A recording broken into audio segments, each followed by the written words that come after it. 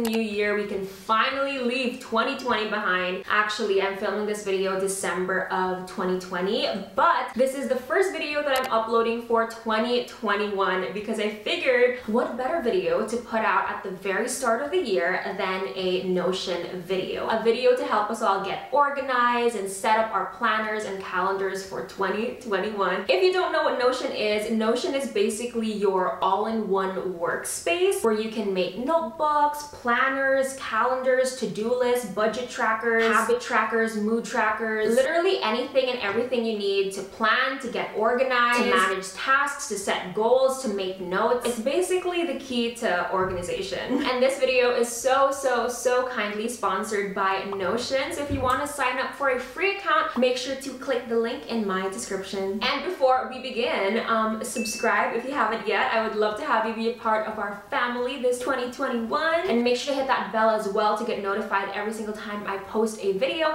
Saturday 2 p.m.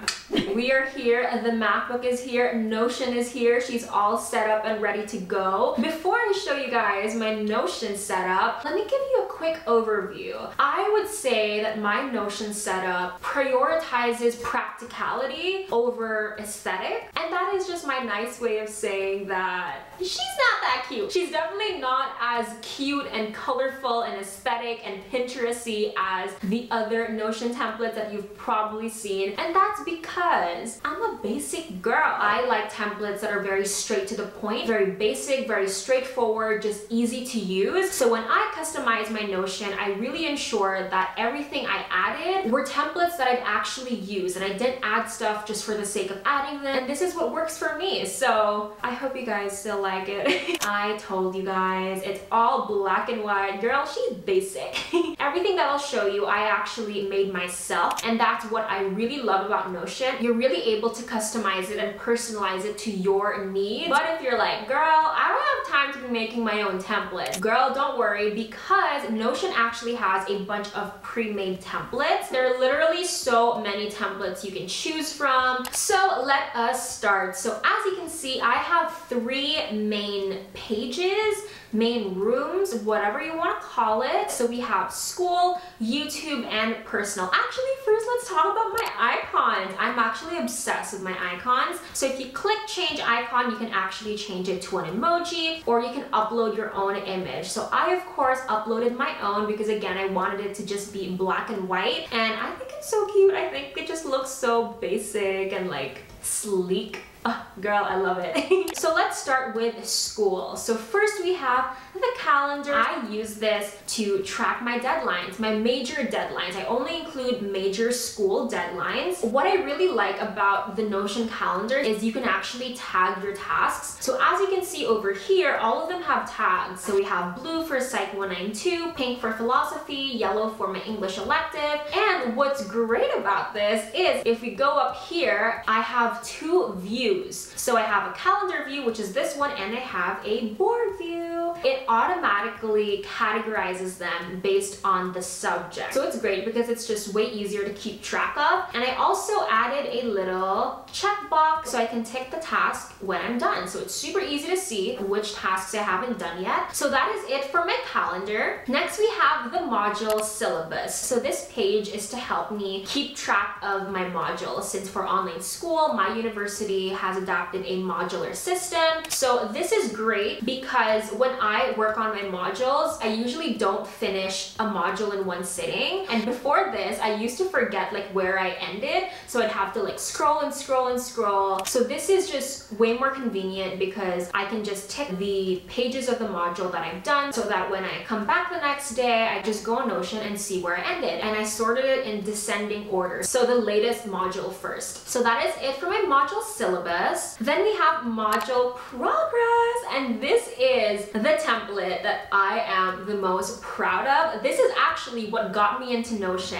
I envisioned a type of module tracker that I wanted, and I knew would help me a lot for my modules. And I tried making it on so many other applications. I even tried just making it using pen and paper, but it just it didn't work. Like I wasn't satisfied. So I was like, girl, why don't you try Notion? Like people are always raving about it and you know how customizable it is and all that. So I made it on Notion and I was like, girl, this is it. This is what you've been wanting. So I'm just so obsessed with this and it helps me so, so, so much. So it's categorized by week and again, it's sorted in descending order. So the most recent week first. So first we have the subject, then we have the module number, then we have read. So if I've read the module already and we have three options, oh, I love this. We have not started, ongoing, or done. Then we have notes. So if I've made my notes for the module, we have none, initial, and final. Then we have graded work. So if I've answered all discussion boards, answered all quizzes, tests, submitted everything that has to be submitted in the module. And we have none submitted, some submitted, and all submitted. And then we have complete. It's a checkbox. So if I've read, made my notes, and submitted everything. Then we have another checkbox for printed. So if I've printed all my notes. So this has just been so insanely helpful because I used to find it so hard to like keep track of my modules and know like if I've read the one for English, if I'm still missing some requirements for philosophy. So this really, really helps me just ensure that I am on top of everything. So I love this. I'm really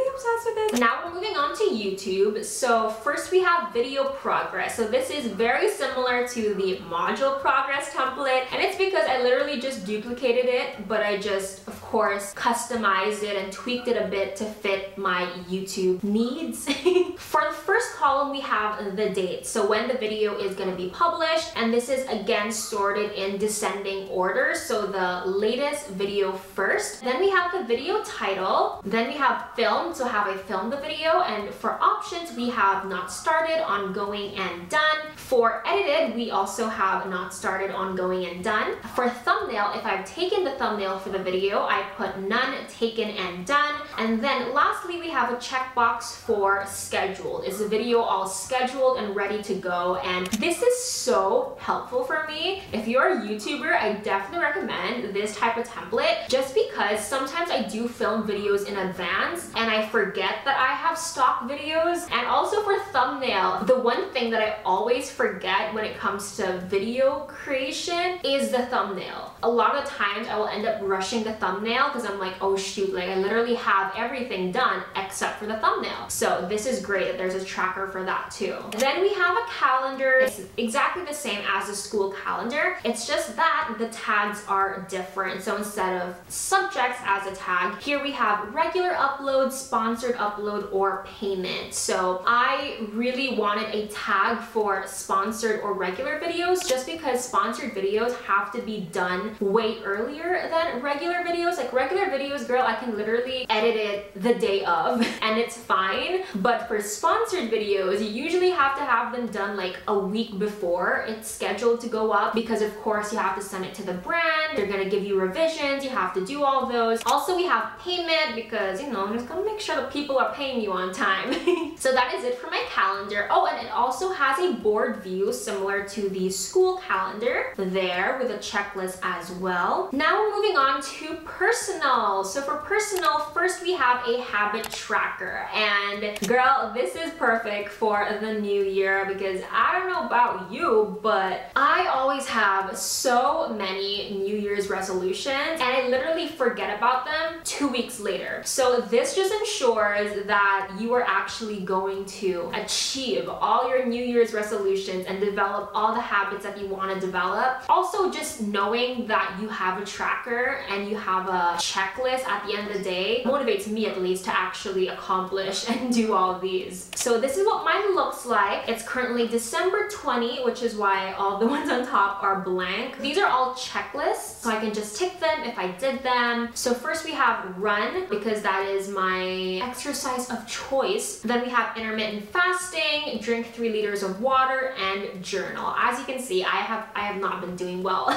for journaling, so we have to we have to work on that for 2021. And lastly, we have my spending tracker. So this one is the template that I actually got from Notion and I just tweaked it, personalized it. This one tracks only my expenses. So first we have the expense expense, so what I actually spend money on. Then we have the amount, so how much I spend. Little, little issue I have with Notion. um, there's no option to change the currency to Philippine peso. So right now I'm just using dollars, so you just have to remember that no, I did not spend $2,000 on Shopee Pay. And then we have the date. Again, it's sorted in descending order, so the most recent one first. I have not updated this in a week or a week and a half, so we have to, I have to do that later. then we have payments. So this is um, what I use to, to pay for that purchase. So whether it's a credit card or it's from my spending bank account. And what's really great about Notion is they actually total it at the bottom for you, which of course is great because that's, that's one less math that you have to do in your life.